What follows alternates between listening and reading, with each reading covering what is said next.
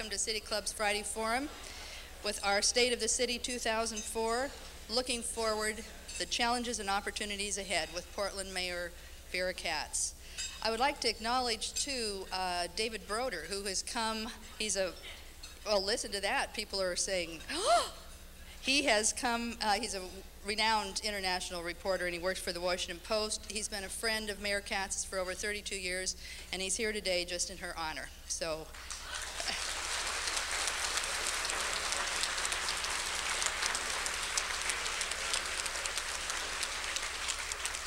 So we have major star power. Uh, if you would all be good enough to turn off your cell phones and other noise-making devices before we begin, I'd be most appreciative, as would all of us.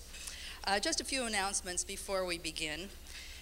Next Friday, December 17th, our forum will feature Dr. Molly Coye, and she'll be speaking on a subject with the provocative title, Dr. Welby and the Green Eye Shade Boys, Can Technology Rescue Healthcare?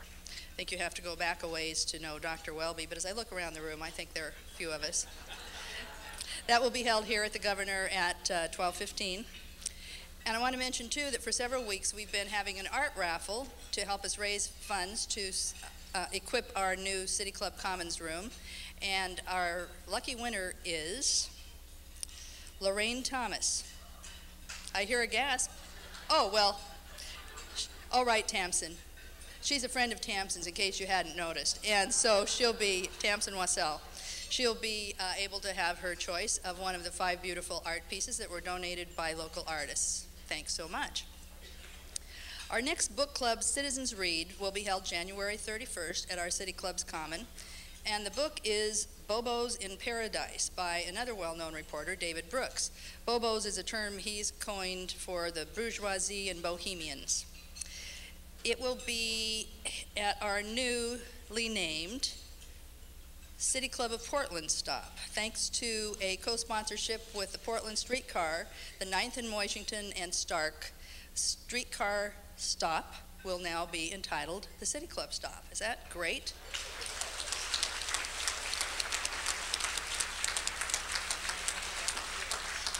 So join us there. Uh, you do need to RSVP for that. Those fill up.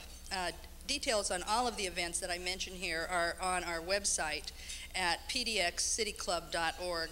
You can also get involved with our citizens blog. Now, week after week, I mention the benefits of membership in City Club. For example, our new look and our new location that's over here on 9th and Washington in the Pittock building it's walk in and browse our library or interact with other interested citizens in City Club Commons, which is our new meeting space. Or bring your wireless computer to O'Bryant Square and use the wireless hookup that we're providing. City Club's most public face has always been these Friday forums. And we have our annual programs such as our State of series that features State of the City, State of the State, State of the Schools, and state of other major forces that help shape uh, the region. You can also come and hear Pulitzer Prize winning journalists and authors, speakers with international reputations, and of course our well-known local speakers who keep us informed.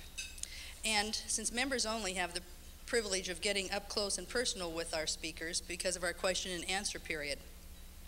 But City Club is also well known for its in-depth, unbiased research reports, which continue to inform and influence public policy.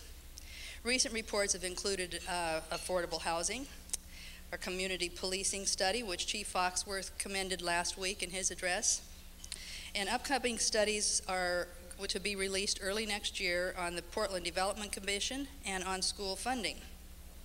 In addition, citizens continue to report that our ballot measure studies are very helpful. Add to that our Citizens Read Book Club, citizen salons where interested and interesting people get together to philosophize on matters of civic importance, our after hours programs such as New Leaders and the Slow Food series with others in the works. In fact, I think we need to give a free membership to Willamette Week because they call us stodgy and painfully predictable. hey, it's not your father's city club anymore, Willamette Week.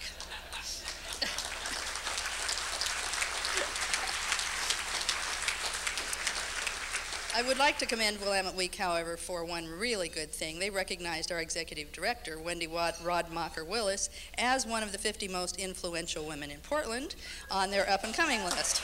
Woohoo! Well deserved, Wendy. However, if you never attend a Friday forum, if you never read a research report or ballot measure study, if you never attend even one of City Club's many events, as a City Club member, you can still be proud to call yourself a concerned citizen because your membership dollars go to support our continued efforts to be true to our perhaps stodgy, but more relevant than ever mission statement, which is to inform its members and the community in public matters and to arouse in them the realizations of the obligations of citizenship. City Club provides a much needed forum for civil discourse on civic matters, and I invite you to join today. There are membership bulletins or membership applications on the table, or you can also go to www.pdxcityclub.org. And for those of you, our blue light special, today only, we will skip the $25 setup fee if you join today. So please do join us in our efforts to help all of us engage in more civil civic engagement. And friends and associates who couldn't get tickets to today's program that will be rebroadcast tonight at 7 p.m. this evening on OPB Radio and 8 p.m. on Channel 30. Audio CDs of today's program are also available. And broadcasts, broadcasts this quarter are also made possible in part by our community service-minded sponsors. This quarter, they're Nike, Portland General Electric, and Preston Gates and Ellis LLP. Now, on to our very special program today. As Mayor Vera Katz presents the state of the city to the City Club for the 12th and final time. Her speech today, characteristically for her, is entitled Looking Forward, the Challenges and Opportunities Ahead. But I would be very remiss on this special occasion if I didn't take this opportunity to, review some of her very special accomplishments. When Mayor Katz was elected mayor in 1992, she was already one of Oregon's best known political figures. She began her political career in the late 1960s working on Robert F. Kennedy's political or presidential campaign and she was elected to the Oregon House of Representatives in 1972. She became one of the state's trailblazers when chosen in 1985 as the first woman Speaker of the Oregon House. And I would like to say that's quite an accomplishment, even though Oregon has a reputation, partly based on this election, of being a progressive state, that was quite an accomplishment for a woman and for a woman with a New York accent to, to go as far as she did in the state legislature. I see other women trailblazers in the room. There's Gretchen Kafoury and Pauline Anderson, but uh, it just attests to Oregon's progressive nature that we were able to get such wonderful leadership from these women. She remains the only person to have served as Speaker for three consecutive terms. And she was an enormously productive legislator, with her greatest accomplishment probably being her sponsorship of the Oregon Education Act for the 21st century but she's also known for the state's groundbreaking gun control legislation and legislation prohibiting discrimination based on gender in places of public accommodation and on credit. We had no doubts on January 1st, 1993, that we were getting a mayor who would bring energy and vision to this city, and we were not disappointed. It's difficult to walk a city block today without seeing the handiwork of Vera Katz. These photographs hanging behind me are partial testament to how her many achievements have changed Portland's skyline. They were kindly donated by Phillips Guzzi of Precision Images. They've changed Portland's skyline and how many of us live and go about our lives differently because of Vera Katz. If you traveled here today via the Portland streetcar or on MAX, then you got here courtesy of Mayor Katz's vision of a varied and accessible public transit system. Ray Polani probably helped with that if later you walk along the East Bank, East Bank Esplanade, and I have it from Sam Adams, this is the announcement. It is soon to be named the Vera Katz East Bank Esplanade.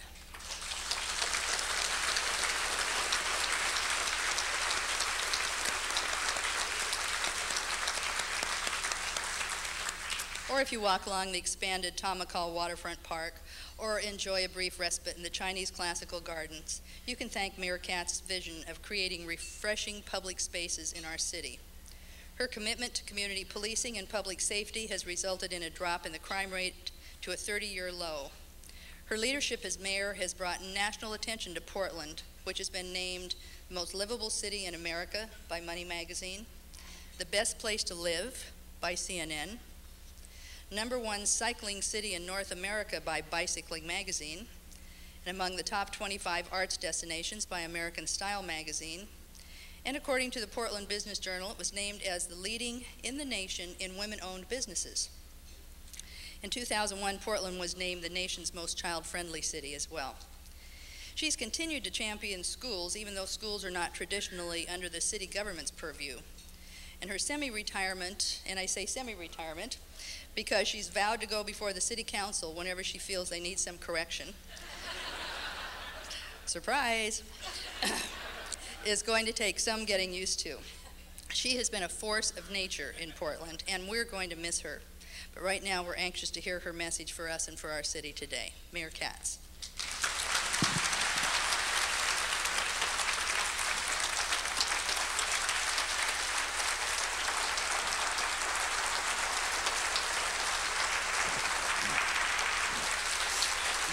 Thank you, thank you, thank you.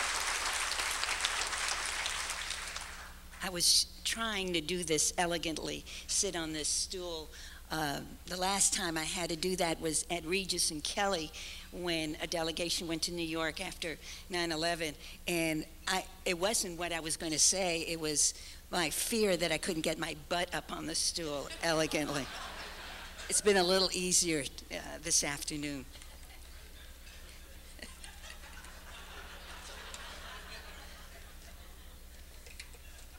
Hello, everybody. It's nice to be here. This is a bittersweet occasion for me. My 12th and last State of the City address. It won't be about the past, though there'll be a little bit about the past, but it will look ahead to the challenges and the opportunities of the future. In my last year in office, the question of legacy has come over and over Again, don't ask me that question. I will not answer it. My response has been the quip made by former Chinese Premier Zhou Enlai.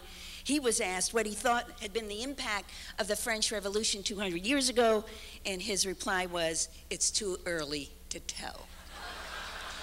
if that's true for the French Revolution, then it's clearly too soon to define my legacy. Time and history will do that. I don't have to. I know what I've tried to do. I also know that nothing was done alone, but always hand in hand with you, the citizens of this community, with my colleagues on the City Council, with my colleagues in other local jurisdictions who shared my passion for this city. At its heart, my goal was your goal to ensure that Portland is counted among the great cities of the world. We work to make Portland a global and international city, comfortable with diverse cultures and competitive in a world economy. We strengthened our many distinctive neighborhoods and are creating new ones in the Pearl and the River districts and now in the South Waterfront. We put considerable energy into reconnecting Portland to its crown jewel, the Willamette River, and we did that through the River Renaissance initiative led by my planning bureau. We created many new wonderful public spaces the East Bank Esplanade, the Chinese Classical Garden, and don't forget Jamison Square. And we achieved these things through a commitment to good planning and urban design. Now, our work has been about place, but it's also been about people. Together as a community, we stood up for Portland's values of respect for all of our citizens and in defense of every person's civil liberties.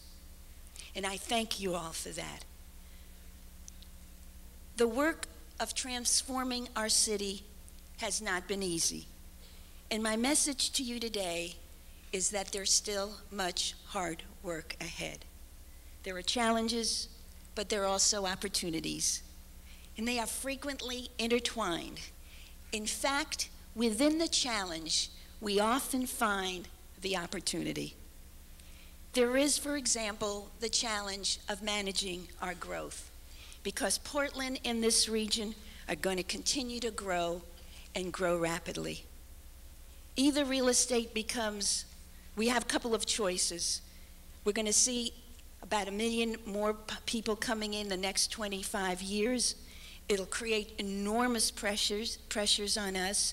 People need to have a place to live. And unless we continue looking for innovative housing policies and funding for it, we're going to have two choices. Either real estate becomes so expensive that ordinary citizens, especially families, will have trouble finding housing, and Portland will become a ghetto for the well to do, or we allow sprawl on such a scale that traffic congestion will become a nightmare and our quality of life will greatly deteriorate. And this year, the voters added to this challenge by passing ballot measure 37. Of course, no funding was attached to cover the cost of our potential claims. What's so disturbing to me, and I know to many of you, is that Oregon and Portland are national leaders in thoughtful land use planning, smart growth, and high quality urban design. And if we don't do anything to protect that legacy, it may be too late. So today I call up.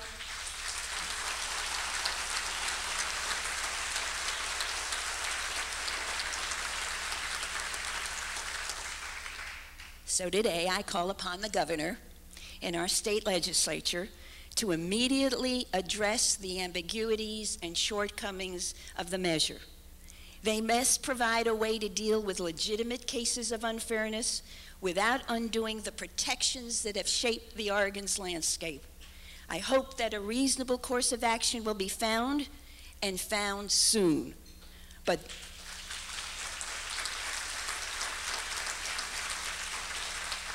But that course of action must be true to the vision for Oregon, first articulated by Governor Tom McCall and placed into law by Senate Bill 100.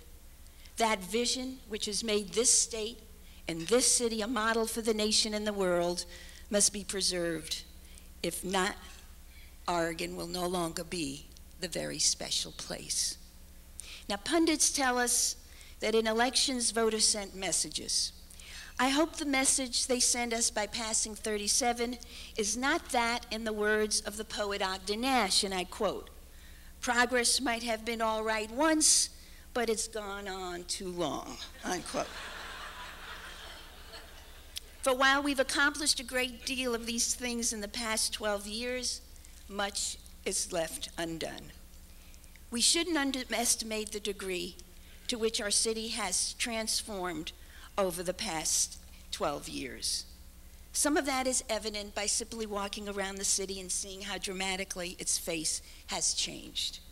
As I look up and see the many construction cranes currently outlined in the city skyline, I shake my head that there are still people who criti- criticize Portland as a bad place to do business. As I As I listened to this criticism, I recall that it was just eight short years ago that Portland was heralded by Forbes magazine as having one of the hottest economy and jobs market in the nation. The conditions that led to that ranking have not changed. If anything, we've improved our business climate by streamlining our permitting process and eliminating onerous regulations. But what has changed is that our economy is very different from the economy that existed just two decades ago. The industries rooted in our pioneer heritage are being supplanted by new types of pioneers. Many of these pioneers are those educated young adults that some call the creative class, but I lovingly refer to them as the young and the restless. They've drawn here in great numbers by our city's beauty. Just ask them why they're here. By our culture, by our affordability, and by our reputation for innovation. Being young, they know that the greatest constant in the world today is change. They're comfortable with it. They find opportunity in change, and so should we. Our challenge is to keep them here and provide them opportunities to flourish and prosper. That's why I'm recommending that the new Economic Development Fund that I created and which was approved by the Council in this year's budget be used primarily to focus on stimulating what we call here the creative economy.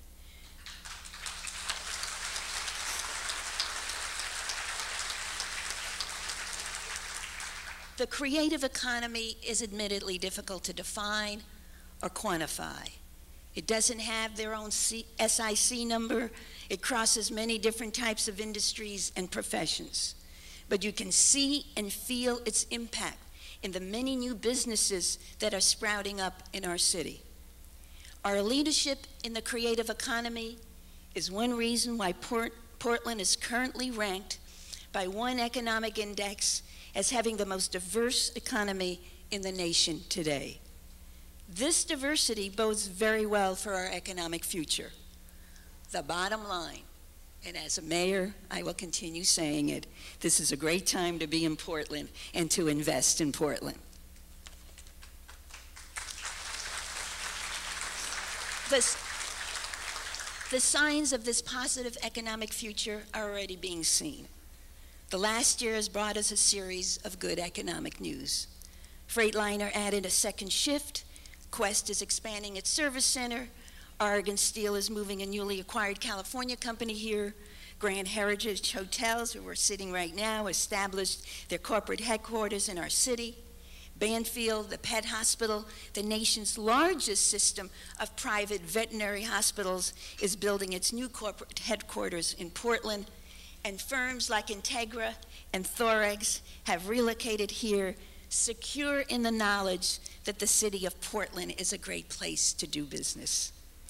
We're also awaiting an announcement from Siltronic as to whether Portland will edge out Singapore as home to the new 300 millimeter wafer manufacturing plant and an estimated 500 family wage jobs. We are now a global city competing against the world.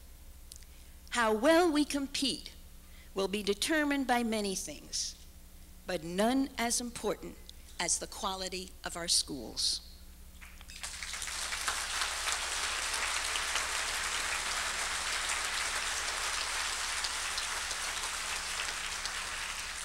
The results of a study released just this week and reported by the Oregonian showed that U.S. students now test below the average of students in other industrialized nations in overall math literacy. It's not that our schools are getting worse. In fact, our students' scores have held steady for the past three years. Rather, the students of other nations are raising theirs. Senior executive at IBM recently noted that if we don't ramp up our education system, the United States will, within a generation, lose the competitive advantage we now enjoy. The executive cited a study by Goldman Sachs, which states that China will overtake the United States as the world's greatest economic power by mid century unless we take action today. What is even more foreboding is that IBM just recently announced that they're selling their entire computer and software business to China. We have had enough summits. We have wrung our hands in despair long enough. We must now actually do something.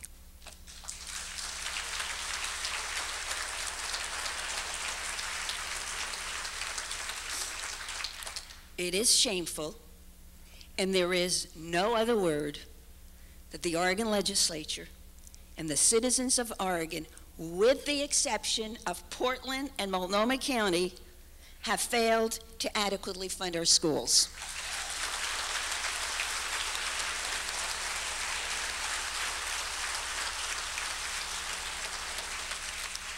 shameful that we also failed to complete the implementation of reforms that passed into law 13 years ago in the Oregon Education Act for the 21st century.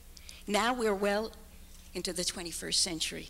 But instead of realizing the fruits of that vision, we're still agonizing over whether our schools will have enough money to provide the basics of a full school year.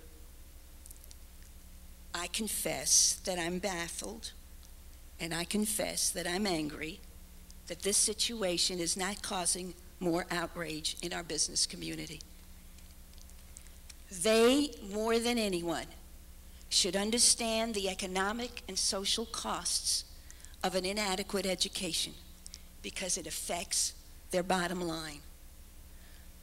I look forward to the day when our business leaders walk into the office of the mayor, the governor, or their legislators and demand better schools, well funded schools, with the same passion they pound the table for tax cuts.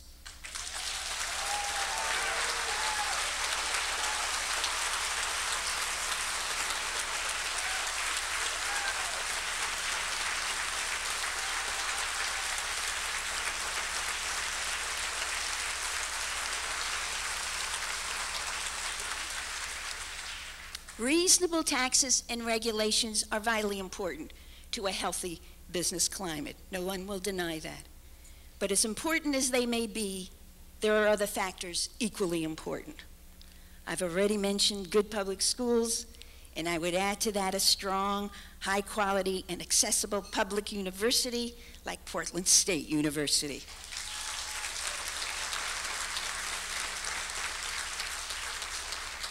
But this is also about creating a place where educated, motivated, and talented people want to live because it is they that make companies and cities successful.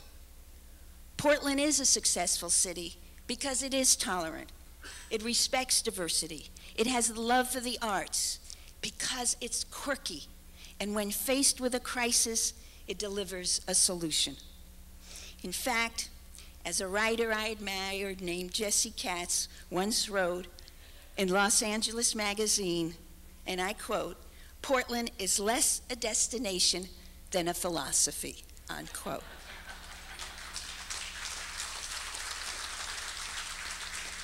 Part of that philosophy is to appeal to what Abraham Lincoln called the better angels of our nature.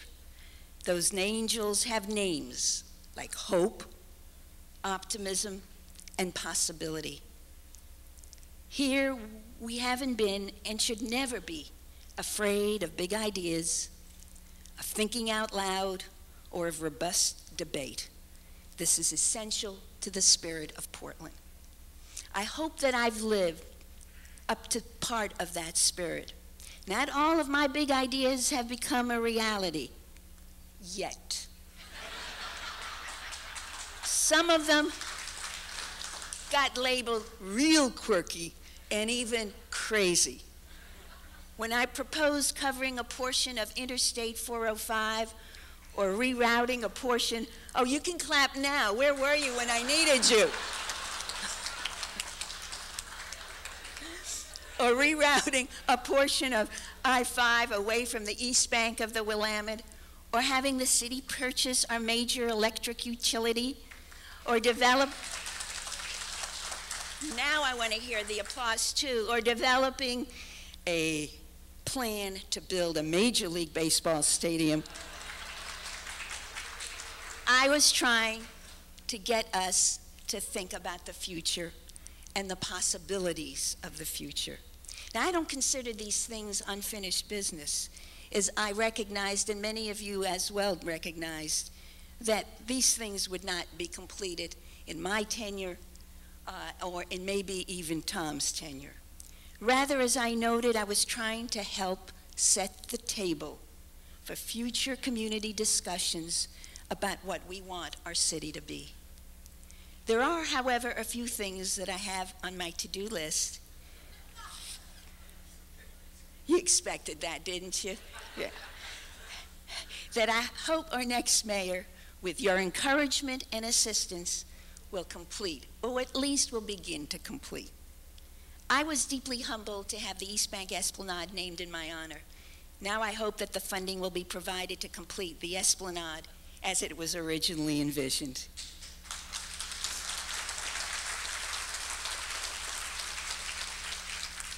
I hope that a design and a feasibility study can be completed soon so we can revitalize Old Town Chinatown through the creation of a great Portland public market.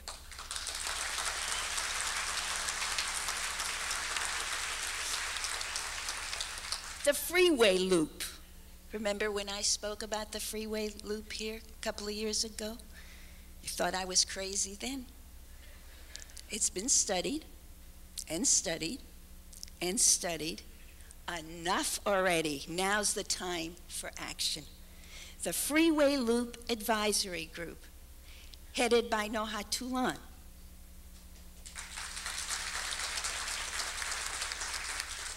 they concluded that the one and a half mile segment of the freeway that runs along the central east side between the Marquam Bridge and I 5 I 84 interchange must be relocated and rebuilt.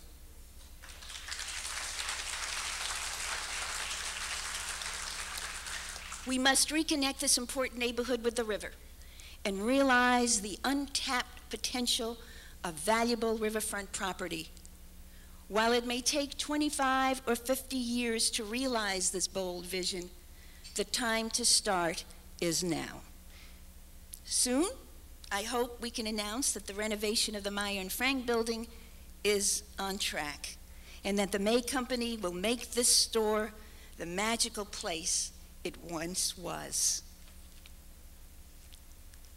The future of PGE is critically important to the city of Portland and the economic health of this entire region.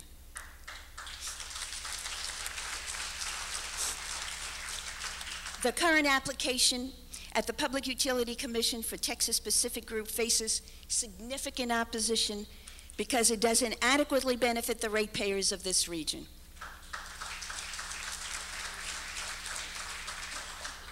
I'm convinced that ownership by the city with professional operations and oversight by a regional board of directors is a better solution for everyone.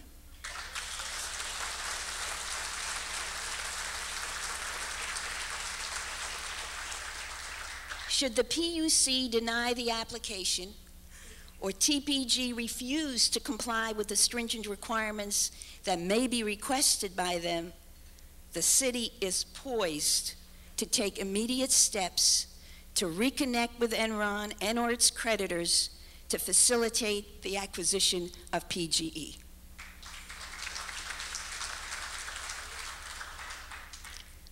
I also thought in recent weeks that perhaps I might again tackle the issue of the city charter reform that would empower the mayor with greater authority and greater accountability. However, after discussions with Mayor elect Potter, he was interested in doing this himself.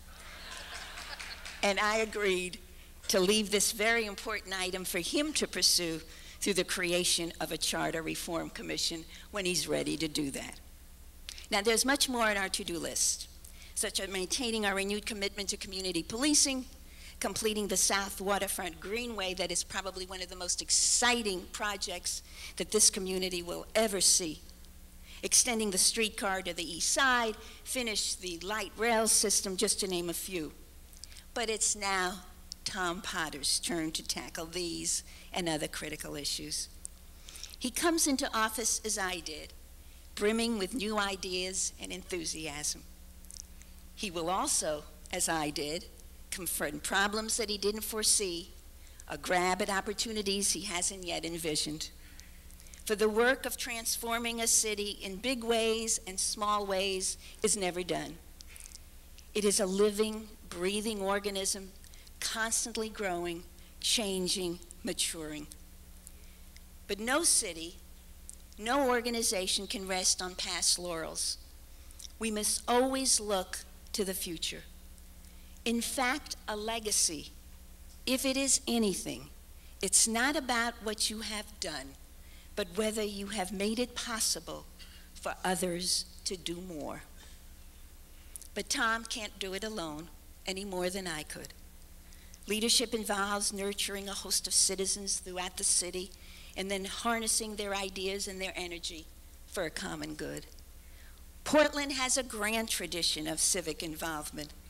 The City Club is one institution that embodies that tradition. So I challenge you, as I've challenged you every year, to be leaders for the community. I challenge you to bring your own vision to the table with the fire and the passion to make the vision become reality of our future. Leadership is not easy. It's about creating and focusing on a vision, creating a sense of urgency, about having high expectations, taking risks, protecting risk takers, and be willing to change direction when things are not working, and perhaps most importantly, to have a thick skin and a sense of humor. I've also learned from Yogi Berra over the years I've absorbed a great deal of wisdom from the philosopher and the baseball catcher. In approaching my final year in office, I never forgot that it ain't over till it's over. In developing my final city budget, I was again reminded a nickel ain't worth a dime anymore. As I read the many media profiles of my time in office, I find it's true that I didn't say all those things I said And in looking ahead, I know it's tough to make predictions, especially about the future. And finally, I recall this pearl. You've got to be very careful if you don't know where you're going because you might not get there. well, I confess that I don't know exactly where I'm going or what I'll do next or when I'll get there although I'm very pleased to announce today that I've agreed to be affiliated with Portland State University's College of Urban and Public Affairs.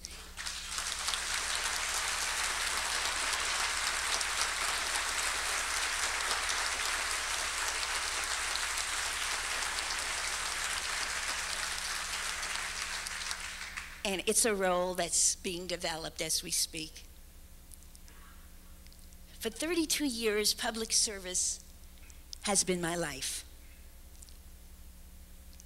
I know I will miss elective office, but I also know that there are many ways and places to serve. Change could be a very good thing for people and for cities. A great city is not static, it's always being reborn. Rebirth is something we in Portland are more comfortable with than most. We do, after all, live in the shadow of volcanoes, and maybe that's why change frightens us a little less here than in most places. And maybe it's why we adapt to the unexpected. In my regard, my final year in office hasn't gone as expected or planned on a personal level. The cancer I've been battling these past months have taken more time and energy than I would have liked to spare. Still, the joy of this job and the thrill of serving this city and my fellow citizens have been a great tonic for me. I've been deeply, deeply touched by the many expressions of good wishes and goodwill that I've received. Cards, letters, email, gifts, especially those sweet little hats made by little ladies from Newberg, Oregon. They'll always be with me. You have all truly touched my heart, and I thank you for it. To my successor, who's sitting right in front, I offer my sincere wish that you can find this work as compelling and fulfilling as I have. I hope that you, Tom, enjoy what I have enjoyed a loyal and passionate staff, collegiality on certain days with your fellow commissioners, the dedication and professionalism of our city employees, innovative and supportive partners from every segment of our city, and affection and support from our citizens. I've lived an interesting life, but I can tell you truly that serving as Portland's mayor, as your mayor, has been one of the greatest experiences of my lifetime. I cannot begin to thank you for this extraordinary honor. If you do remember me in times hence, this is the sentiment that I would like to be remembered by. This was a quote that was given to me while I was in ICU during my early cancer treatments. They're words from George Bernard Shaw. And I quote My life belongs to the whole community. And as long as I live, it is my privilege to do for it whatsoever I can. I want to be thoroughly used up when I die. For the harder I work, the more I live. I rejoice in life for its own sake. Life is no brief candle to me. It is sword of a splendid torch which I have got hold of for the moment, and I want to make it burn as brightly as possible before handing it on to future generations. I hope I have lived up to such grand words. I thank you all. God bless you, and good afternoon.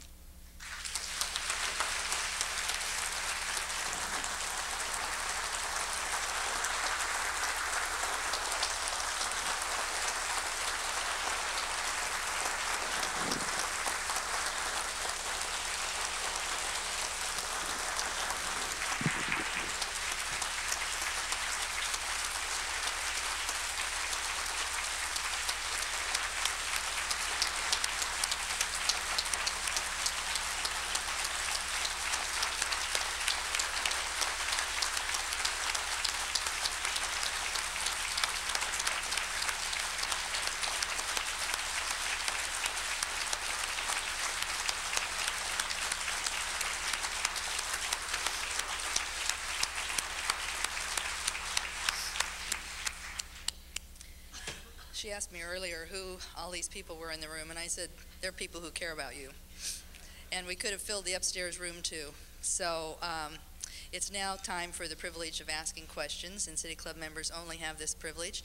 The first question will be asked by uh, Chris Smith, who's a member of the Board of Governors, and he chairs the Advocacy Committee. Chris is a lead internet technologist for the Xerox Office Group.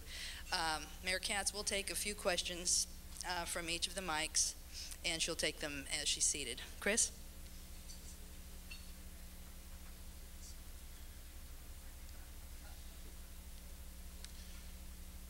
Mayor Katz, I confess I'm more than a little bit nostalgic today.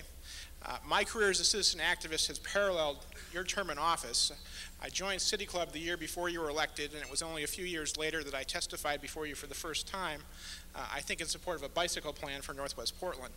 Uh, since then, I've become a City Council regular, uh, and I think I speak for activists all over the city when I say how much affection and respect we have for you and appreciation for letting us do our thing.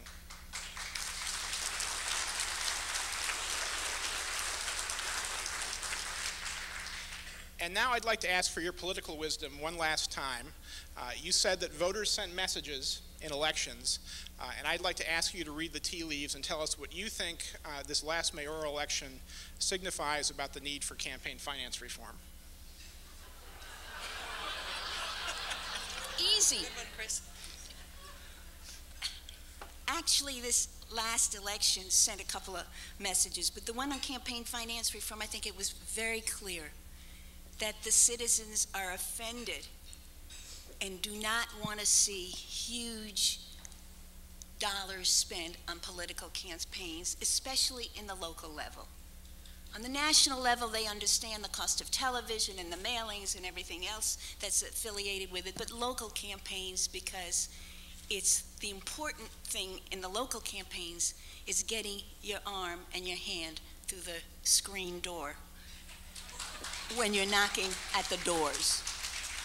By the way, for those of you who ever want to run for office, it's not good enough to have the screen door closed. It's got to be open and the hand has to go through it. And if you can walk into the kitchen and into the living room, that's even better. And the message that was sent because of the contrast between how two candidates handled the situation clearly set the tone for the election. There's no question about that. The other piece that's a little bit more personal is that I think uh, that those running for office, and I hope I did that when I first ran, need to be positive about this city. It's a wonderful city. We've made mistakes, there's no question, criticize us for it. But be positive about the city and what you can do. Uh, and I think those two factors had a lot to do with, uh, with the uh, outcome of the election. Is Jim Francesconi here? I wanted to, is he here? I wanted to thank him also. It's not only I who's finishing terms of office, he's finishing eight years here in the Portland City Council. His love for the city is unquestionable, uh, and I want to wish him much luck and much success as he pursues his next career.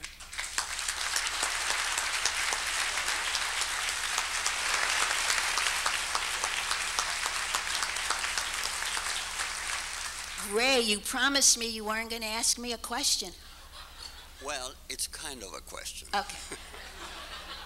Ray Polania, City Club member. Mayor Katz, you talk very much about the future, and I agree with you wholeheartedly. The future is what we can do something about.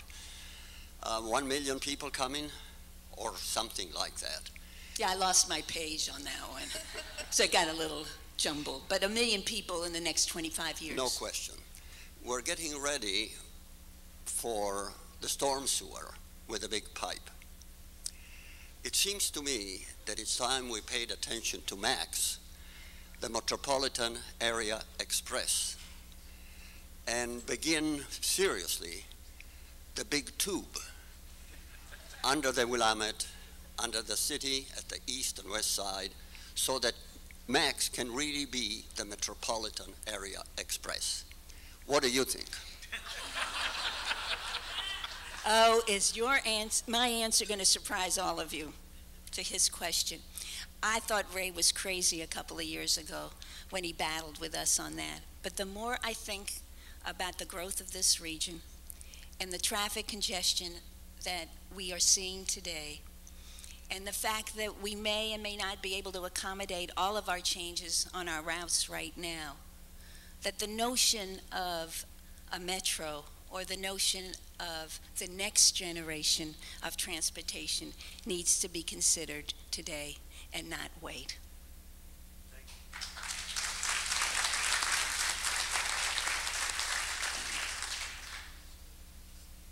I'm Aubrey Russell, City Club member.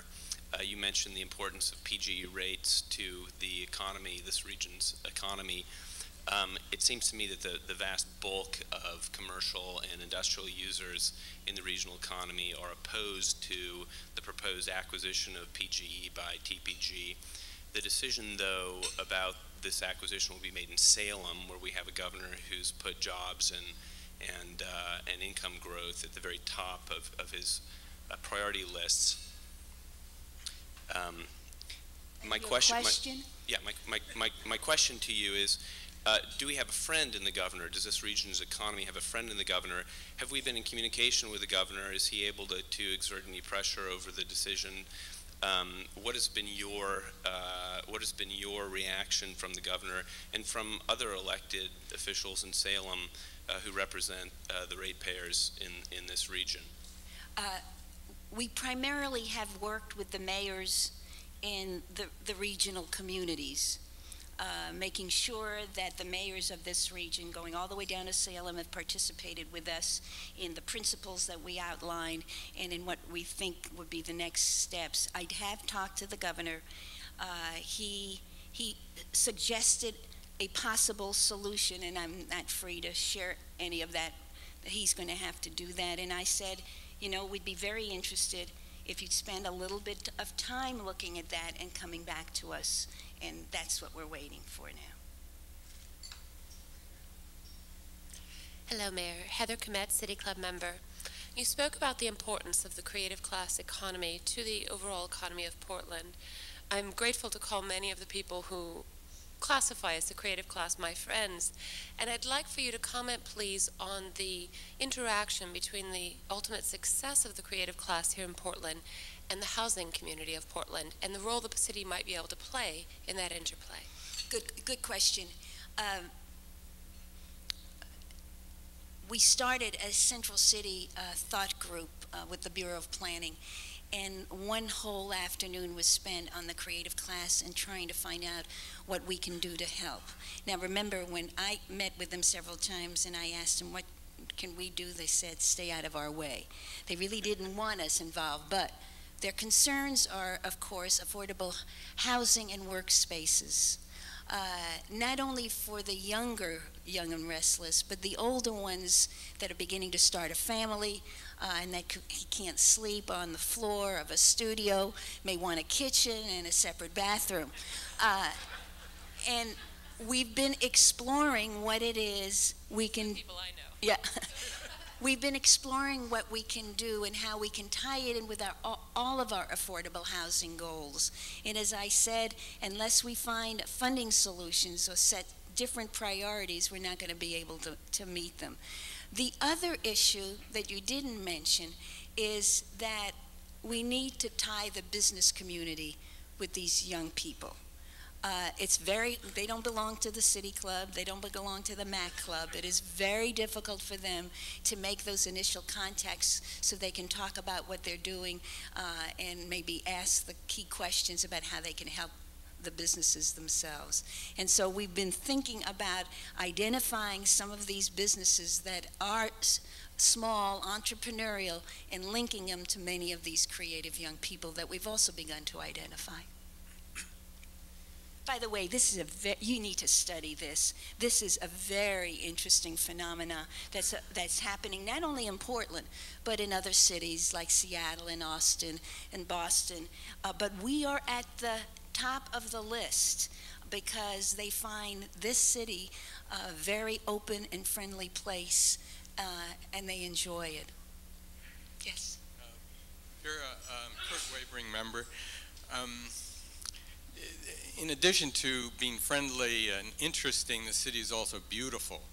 And in 1971, the City Club did a study on billboards. In your administration, you picked up on a second study we did to deal with that and also the very difficult issue of wall murals. Um, my question goes beyond that as to what do you see needs to be done to preserve and enhance the visual quality of the city as we develop and have more people in development occur? Say no to Clear Channel. over and over and over again. Mark my word. I'm at the door. Their foot will be in the door. Mark my word. And Kurt, thank you for your work representing the City Club on the mural issue. We solved I, I think we solved the mural issue uh, by thinking creatively, uh, but because of the quirkiness of our own state constitution, we have a lot of things that we had overcome. But the city council will have to say, no, thank you. Carol Witherell, City Club member. Thank you, Mayor Katz. Um, my question is um, drawn from realizing that the boundaries between our city and the greater metro region, the, the state of Oregon, and the national and international um, realms are more permeable than ever. What can we as citizens of Oregon do to promote living wages, affordable and safe and sustainable communities, and access to health care for all? Do you want me to really answer that question? Yes. Uh, I'm going to answer it a, a little broadly than that. The living wage issue and poverty in the economy really underlines all of the socioeconomic issues that you've just identified, including health care, which has not been resolved by anybody. And until that issue is dealt with on the national level, there is relatively little that we can do other than be on the next wave of the next economy, which is the reason that I focused in not only on manufacturing jobs, but on the creative economy. And to innovate, to innovate, to innovate, so that our services and our products are ahead of everybody else. That will create family wage jobs. But in addition to that, the national economy needs to deal with the fact that we are in a huge deficit situation and that providing tax cuts that they think will in fact stimulate the economy will have a detrimental effect in, in, in paying for the services. And I'm back to the services uh, that make families families uh, and opportunities, and especially containing the health care costs or changing the entire healthcare system. Thank you so Okay. much. One more question. Uh, Marcus Samantel, City Club member. Uh, You talked a little bit about Measure 37, and yesterday I had the privilege of chatting with Hector Macpherson. Uh, And of course, you might expect he's a little concerned about what's going on. His question to me was, and I ask this of you, uh, what big idea and who should take it uh, to Salem to try and do something to make 37 work since it passed 60-40? But here, here's the dilemma. If I was the supporters of ballot measure 37, I wouldn't do anything that would frighten the legislators. I would wait until they've gone home. I mean, this is, uh,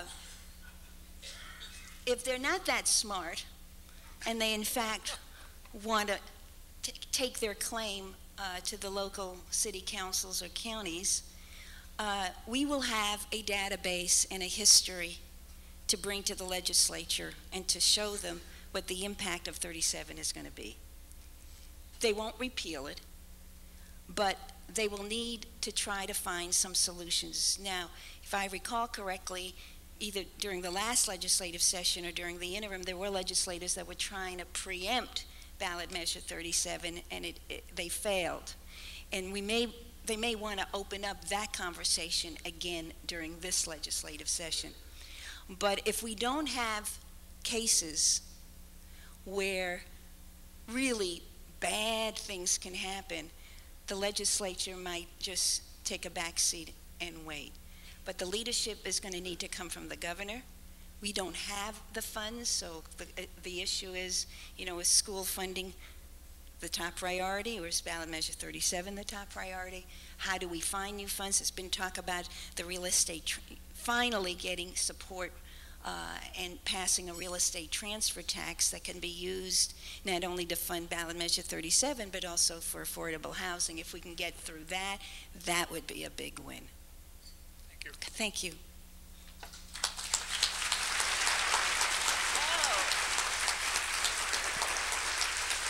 Think we can all say thank you for 32 years of service. Thank you for 32 years of service, Mayor Katz.